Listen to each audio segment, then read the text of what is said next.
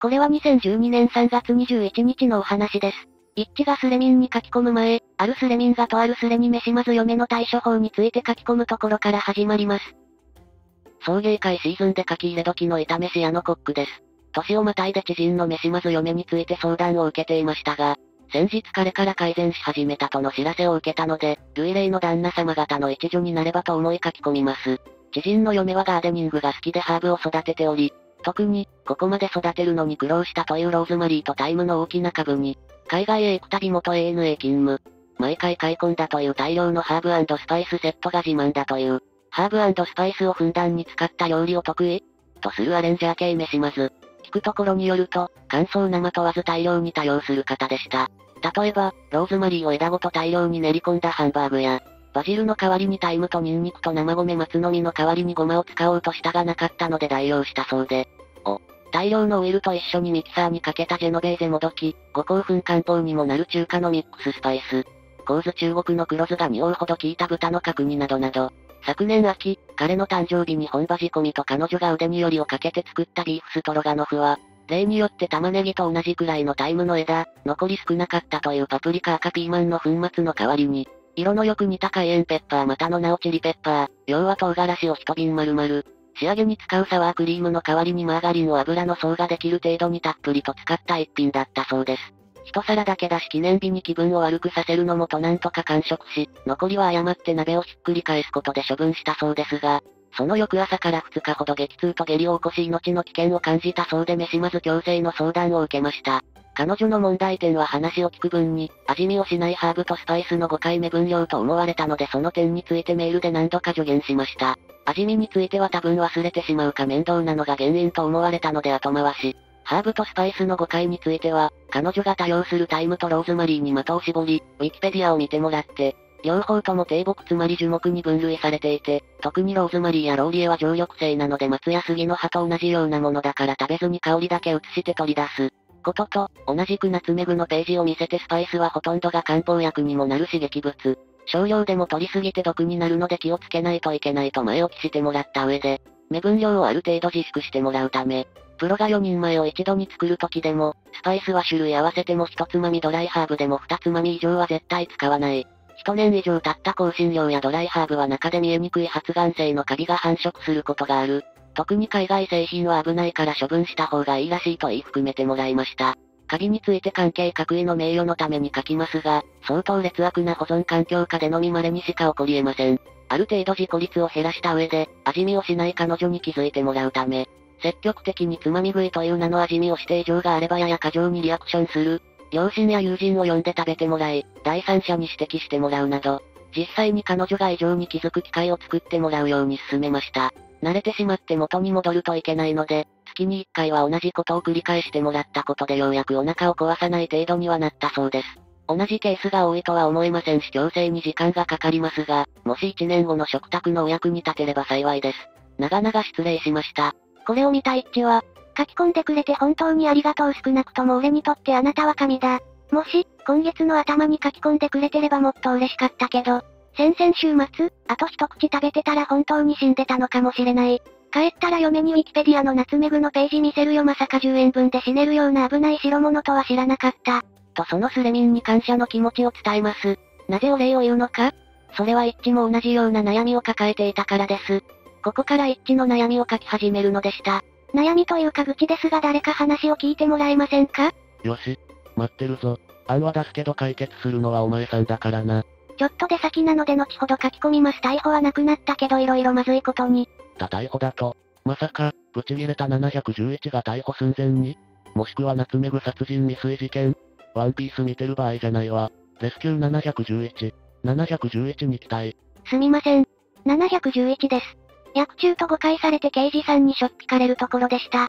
で、それも込みで皆さんに伺いたいのですがちょっと長いの書いてもいいですか？どんと来い。さあ来い。ありがとうございます。688さんのケースに似ますが、嫁は A 中隊と話せる某旅行代理店勤務で渡航するたびパスタの抜き型やら、ハンドルを回すだけで何でも千切りができるスライサーとかちょっと珍しいスパイスやキッチングッズなどを持ち帰ってきます。で、自宅用以外に友人や母や嫁母などに配るので、色々な道具を使いこなす料理上手と思われていますが、実際自宅用のグッズは2、3度使ったらキッチングッズのケースに入ってしまうのでそうでもありません。飯まずすれの伝説を見るとめったに焦がさないのでまだ救いがあるように感じてしまいますが、彼女は大雑把の物知らず系アレンジャー。まともにレシピ通り作ってくれると普通に惜しいのですが、どうも独自色を加えたいようでそんな時に自慢のスパイスが投入されます。基本的に善意でやってくれていること、共働きかつ彼女が日本にいないことも多いので、なるべく和気あいあいと過ごせるように多くを言わず完食するように心がけていましたが、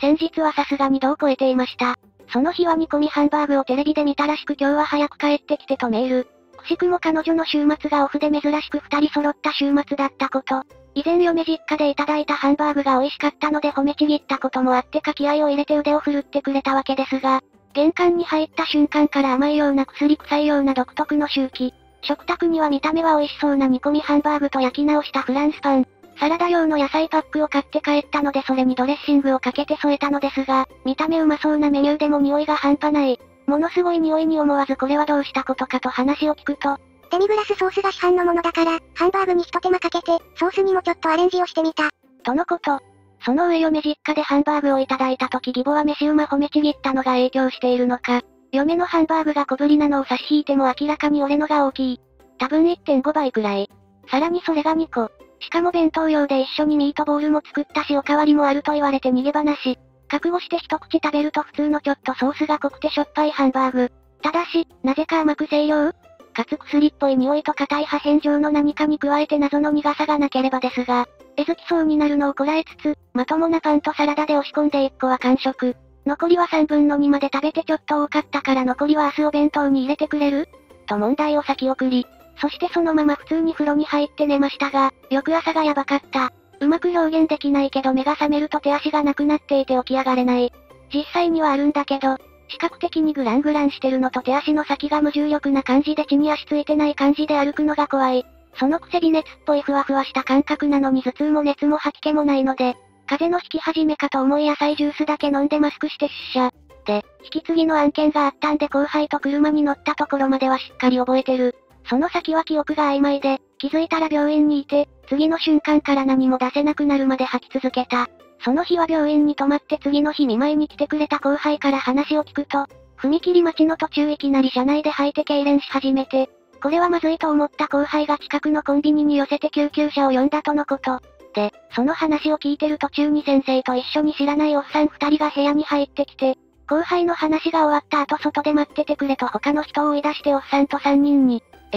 取り調べ？何それ怖い。と思ったら本当に二人とも刑事さんでガチに取り調べでした。その後採血やら採尿やらで検査して先生のお墨がついてやっと疑惑が晴れたけれど、どうも大麻のオーバードーズに似ていたため疑われたらしい。先生に聞いたところナツメグは過剰摂取で幻覚症状や興奮など、麻薬系の中毒に似た症状が現れて、さらに量が増えると子供の場合でしたが死亡例もあるとのこと。で、最初は旦那が薬中で取り調べ受けてると顔真っ赤にして泣いてた嫁は原因判明後先生からナツメグが原因では？と諭されて。なんで私のせい？と逆ギレて、全部食べきっていたら致死量だったかもしれないと言われてもガン泣き。ちなみに致死量は 10-15g 上が目安だそうで、嫁が使ったのは1人前1個として2人前プラス弁当用で計3個。1個は3分の1おろして、残りはクラッシュして全量ハンバーグへ。1粒 5g と仮定すれば致死量だったようでした。結局土日入院して翌週復帰したんだけど、帰宅したら冷蔵庫にはジップロックに入った例のハンバーグ。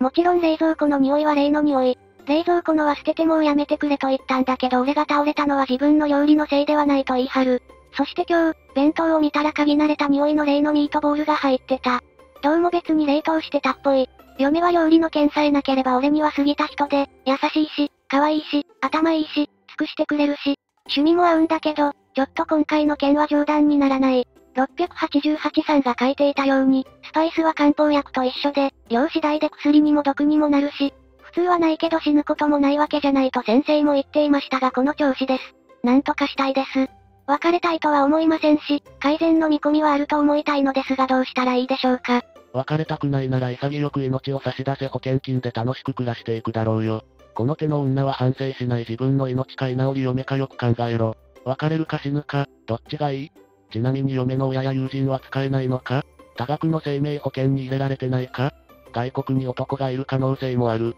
捨てずに弁当にも入れるなんて、お前マジでそのうち殺されるぞ。生きててよかったなそれ捨てきれない時点で、頭言わないと思うんだ。この話はもはや飯まずすれの担当案件じゃない気がする。保険は入ってますが一般型のものと思います浮気は、ないと思いたい。あのミートボールはやめてくれと言ったところ。一度にたくさん食べるから中毒になるので、あの程度なら大丈夫それにたくさん作ったからもったいない。とのこと中毒云々は確かに正論なんですが何と言えばいいのか。死ねばよい。嫁もハッピー。あなたもハッピー。誰も不幸にならない。ただし放たれた嫁によって誰かが不幸になるかも。入院させたのに反省どころかまだ食わせようというのがすごい自分以外の人間はどうでもいいんだろうな。間違っても子供だけは作るなよ。そもそもスースージャリジャリして正直美味しくなかったし、量は少なくても、死にかけたものと同じものを君なら食べたいと思うかい？俺はものすごく苦しかったんだよ。俺の気持ちと少量の肉と、君はどっちが大事なの？とか、まずかったということはきっちり伝えておくべきではなかろうか。